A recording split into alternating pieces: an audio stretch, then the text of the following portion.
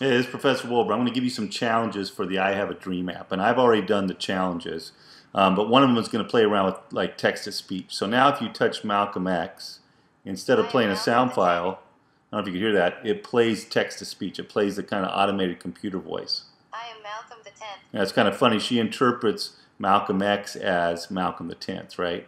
Um, anyway, so that's text to speech. Then you're going to play around with vibration. So when when I touch MLK, we're going to play his speech, but also vibrate the phone. I am, Mal I am Malcolm the Tenth. Okay, I don't know if you heard the vibration, but the phone vibrated in my hand. And interestingly enough, the vibration caused a shaking event. Okay, and I haven't told you this yet, but I've also programmed a shaking event with the accelerometer sensor that causes Malcolm's speech to play, or his text to speech to play.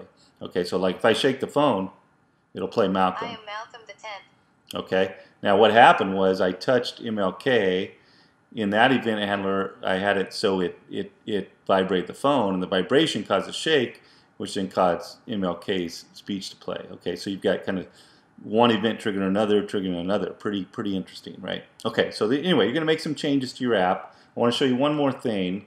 Um, you can change the icon for your app, so the app list will actually show a picture instead of the default App Inventor ugly thing. So so that's that's one thing you can do to make your apps look a lot more professional.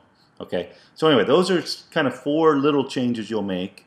And then the last thing you're going to do is, is more creative. You're going to build your own soundboard app. All right, so I built one, um, and mainly I want you to have at least three pictures and at least three sound clips. And things will get a little more complicated with the if conditionals and whatnot. But what I did is I added Rosa Parks, and I can, you know, now if, if she's touched, her speech plays. Okay, but I still pause all speeches and play the other one when I switch it. So I don't know if, oh, there's Malcolm. Okay, so anyway, don't worry about it. doesn't have to be civil rights, doesn't have to be about anything. Build it about what you want and make it creative, um, but add at least three or four pictures and then you'll, you'll have a little more complexity. All right, have fun and, and learn a bunch of App Inventor.